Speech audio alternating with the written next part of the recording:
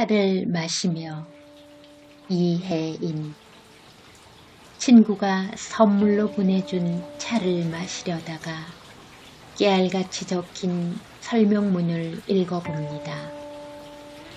그대가 늘 친절하고 자비롭고 협조적이며 말에 진실하다면 천사의 행동을 하는 것입니다. 하마터면 놓칠 뻔한 이 말을 몇 번이고 되새기며 나는 천사가 될 궁리를 합니다.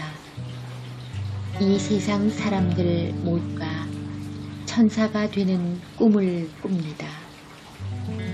날개 없이도 마음 먹으면 천사가 될 수 있어 기쁘다고 가슴 속에선 자꾸 웃음이 차오르고 차를 마시면 마음이 맑아진대.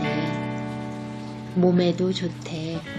오래 살아주렴 하는 친구의 다정한 목소리가 찻잔에 내려앉아 꽃으로 피어나는 아침을 기도처럼 마시는 삶의 고마움이